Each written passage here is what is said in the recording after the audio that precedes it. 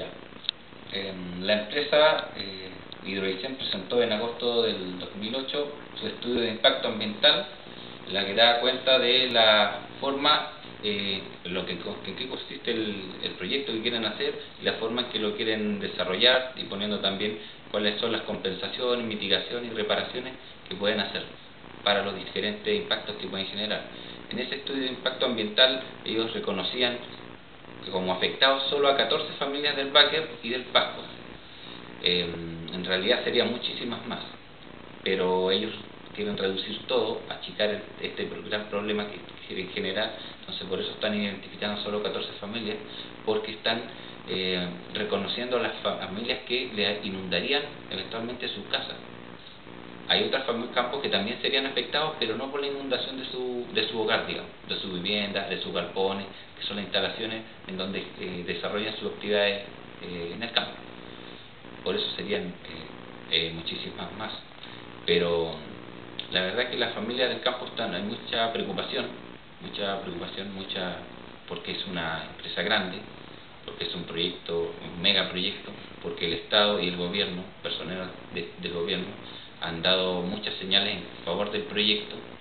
eh, diciendo que se debe aprovechar este potencial hidroeléctrico de, de eh, pero hay mucha gente también que está con ganas de pelear, lo está haciendo, está haciendo acciones legales, y otras también están muy asustadas, muy preocupadas eh, y no quieren tener problemas ni con el Estado, ni con el gobierno, ni con una empresa poderosa, así que estarían dispuestos a, entre comillas, a negociar la venta parcial o total del campo por otras condiciones. Hay personas que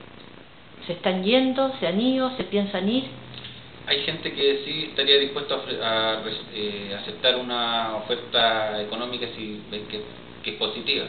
Hay mucha gente que hace tiempo ya quiere, está interesada en vender el campo y, y, la empresa sería como un buen vendedor, o perdón, un buen comprador porque tendría capacidad como para pagarle lo que vale o, o lo que quiere ser el propietario hoy día. Pero hay mucha gente que no le interesa el dinero de la empresa y quiere pelear y le interesa seguir viviendo en las mismas condiciones, que, no son grandes condiciones tampoco económicas, pero le permite vivir bien, como, su vida. como siempre, como se crió, viviendo tranquilo, viviendo cerca del pueblo,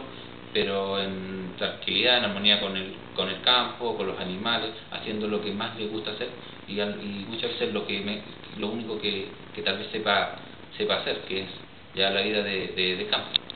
Así que hay gente que está dispuesta a pelear con esta empresa y, lo está haciendo desde hace ya varios años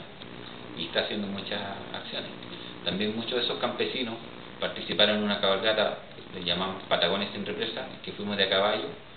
eh, salimos desde Cochrane y llegamos a Coyhaique, recorriendo 320 kilómetros en nueve días para eh, manifestarnos eh, ante la intendenta de la época, eso fue en noviembre del 2007, para decir que nosotros rechazamos el proyecto de,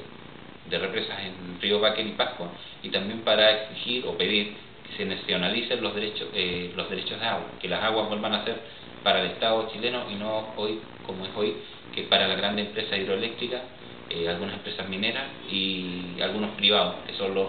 son los. Así que desarrollamos esa actividad, salimos 35 personas de a caballo de aquí, muchos de ellos gente nacida y criada. ¿Hombres y mujeres? Hombres, mujeres, niños, una niña de 5 años y un anciano de 89 años. Y llegamos a Coyhaique, 127 jinetes, donde se sumó gente de Chile Chico, de Puerto Tranquilo, de Murta, de Cerro Castillo, de la cercanía de Coyhaique. Mucha gente realmente que se sumó a esta cabalgata y también gente que, que nos esperó en la plaza desde la llegada, la avenida en Coyhaique, también aplaudiendo y, apoyando esta actividad. Entonces, esta es una campaña eh, ciudadana que parte desde las casas, de los campos, dueñas de casa, niños, jóvenes, mujeres, eh, ancianos también, y que están desarrollando una campaña, una pelea permanente, que es como lo que estamos haciendo desde, desde, local, desde lo local, aparte de lo que se hace a nivel regional, nacional y también lo que hacen ONG y personas naturales en el extranjero para, para hablar sobre Patagonia sin represa.